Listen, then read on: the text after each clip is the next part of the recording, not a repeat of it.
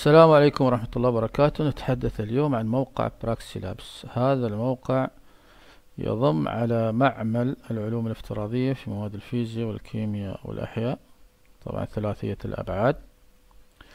وهذا الموقع آه، طبعا آه، ممكن إن إحنا نشتغل على هذا الموقع سواء بأجهزة الكمبيوتر والأجهزة اللوحية والهواتف الذكية. متوفر طبعا باللغتين العربية والإنجليزية. خلونا راح ندخل الآن الموقع باللغة العربية. طبعا هذا الموقع يعطيك اشتراك مجاني لمدة شهر وممكن إنك أنت تستخدم آه، فيه اثنين وعشرين تجربة آه، تجربة محاكاة ثلاثية الأبعاد آه، في الثلاث مواد طبعا في الفيزياء والكيمياء والأحياء. كيف ننشئ حساب مجاني طبعا في هذا الموقع؟ طبعا هذه الأيقونة موجودة فممكن ندخل على الأيقونة ونحط بياناتنا الاسم رقم الهاتف المسمى الوظيفي الدولة البريد الإلكتروني إلى آخره وبعد ذلك آه، ننشئ الحساب. فطريقة إنشاء الحساب سهلة جدا. فالآن خلونا نرجع وندخل في الموقع اللي هو معمل العلوم الافتراضية. فراح ندخل الآن الموقع. طبعا آه عندي آه الاشتراك مجاني. فخلونا نشوف. مثل ما قلت الاشتراك المجاني آه لمدة شهر.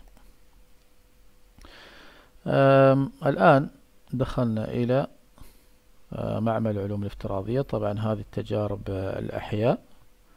عندنا ثمانية تجارب. وفي الكيمياء تسعة تجارب هذول سبعة عشر. وفي الفيزياء هنا عندي خمس تجارب يعني اثنين وعشرين تجربة. الاشتراك طبعا لمدة شهر. يعني الاشتراك المجاني فقط لمدة شهر. بعد ذلك راح يكون طبعا بمبلغ مالي. ممكن تتواصلوا مع الموقع وتشوفوا كم آه، المبلغ اللي راح تدفعوه. وبعد ذلك طبعا آه، راح تزيد عدد التجارب يعني راح تكون أكثر من 22 تجربة. آه، خلونا نجرب هنا تجربة في الفيزياء. راح نشوف كيف نتعامل مع الموقع. فمثلا راح آخذ تجربة تعيين سرعة الصوت باستخدام الأعمدة المغلقة. فطبعا إحنا عندنا في المنهج منهج المنهج العماني في مادة الفيزياء نسميها ظاهرة الرنين في الأعمدة الهوائية. فراح ناخذ التجربة هذه الآن عن طريق البراكسي لابس فننتظر آه لحد ما يتحمل الموقع. طبعا يعطيني خيار آه إنجليزي أو عربي فراح ناخذ طبعا عربي. فنقول حسنا. نقول بعدين حسنا. طبعا هنا يعطيني نبذة في هذه التجربة. سنقوم بحساب سرعة الصوت في الهواء باستخدام أعمدة مغلقة. طبعا راح يكون العمود مغلق من طرف واحد. فنعمل التالي. الآن آه، خلونا نستكشف آه، هذا المعمل. فمثلا لو ضغط على الثلاث خطوط هذه راح ينقلني إلى هذه السبورة. هذه السبورة طبعا فيها الإعدادات اللغة إحنا اخترنا طبعا اللغة العربية المؤثرات الصوتية حاطين عليها صح. آه ممكن آه نعرض فيديو. يعني قبل أن نجري التجربة ممكن نعرض فيديو مقطع فيديو عن التجربة. كذلك توجد عندنا ملفات. نشوف الملفات. ملفات طبعا عن التجربة. آه أيضا ممكن هنا عندي كذلك تمارين. ممكن بعد ما نقري التجربة نحل التمارين هذه. آه أيضا عندنا معلومات إثرائية عن التجربة. فهذه بالنسبة لي آه طبعا معمل العلوم الافتراضية. آه تقريبا كل التجارب راح تكون بنفس الطريقة. الآن نرجع إلى المعمل. آه هنا طبعا راح يكون عندي تسجيل البيانات وهنا عندي إظهار الجدول. طبعا إلى الآن أنا ما عندي أي تسجيل بيانات فبالتالي ما راح يظهر الجدول وهنا راح يكون إظهار الرسم البياني. وهذه هي الأدوات طبعا موجودة أمامكم الأدوات الخاصة بظاهرة الرنين. طبعا الهدف آه، من تجربة آه، الرنين في الأعمدة الهوائية الهدف منها هي قياس سرعة الصوت. قياس سرعة الصوت. فمثل ما أنتم شايفين في عندنا هنا ثلاث شوكات رنانة. هنا ممكن نشوف الخطوات. يعني لما أضغط هنا يعطيني الخطوات. فيقول هنا قم بإحضار شوكة رنانة. ذات تردد اف ثم قم بضرب الشوكة بلطف ثم ثبتها عند نهاية طرف, طرف الأنبوبة الرنانة. الخطوة الثانية قم بتغيير طول الأنبوبة عن طريق غمسها في زجاجة أسطوانية ممتلئة بالماء. سجل القراءة L عندما يكون الصوت أعلى ما يمكن. الخطوة اللي بعدها سجل قيمة الطول الموجي الحالي ثم كرر الخطوات السابقة. يعني عن طريق شوكة رناني شوكة رنانة واحدة آه راح نكرر الخطوات ثلاث مرات. طبعا هذا الهدف منه ويش تعيين القيمة المتوسطة للطول الموجي. بعد ذلك نغير الشوكة الرنانة ونكرر الخطوات السابقة مرة أخرى.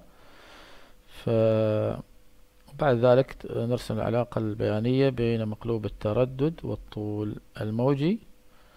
وبعد ذلك آه، قيمة الميل آه، طبعا نحسب قيمة الميل ثم نستخدمها لتعيين سرعة الصوت في الهواء. هذا بالنسبة للخطوات. الآن خلونا نجري الخطوات. الآن أنا عندي الشوكة الأولى آه، طبعا ترددها 320 هرتز. فراح أعمل هنا ستارت طبعا الآن راح أرفع الأنبوبة. آه. سمعنا الصوت. خلاص نروح نسجل البيانات نتأكد من الجدول. طبعا خلاص. النتيجة تم تسجيلها عند 320 هرتز الواحد على الأف. وبعد ذلك آه طبعا اللمدة 1 الآن لازم نقيس على نفس الشوكة لمدة 2 لمدة 3 وبعد ذلك ياخذ المتوسط. هذا بالنسبة للخطوة الأولى يعني أو للشوكة الرنانة الأولى. فخلونا نجري نفس التجربة ستارت ونرفع.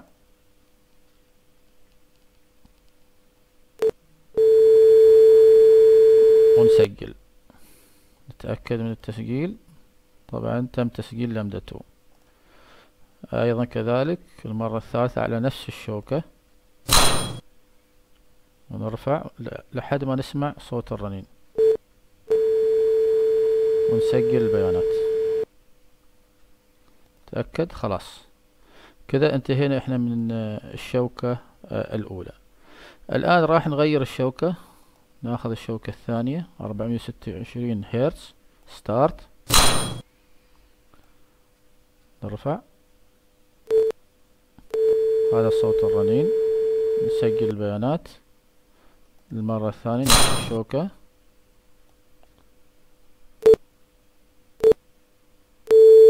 سمعنا صوت الرنين. نسجل بيانات. المرة الثالثة كذلك. على أساس ناخذ المتوسط. ونسجل البيانات. آه نتأكد من الجدول. خلاص. كذا انتهينا من الشوكة الرنانة الثانية. الآن آه عندي الشوكة الرنانة الثالثة خمسمية واثناشر هيرتز نعمل ستارت نفس الخطوات.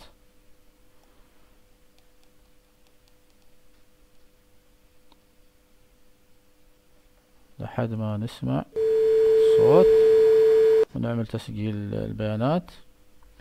نفس الشيء المرة الثانية.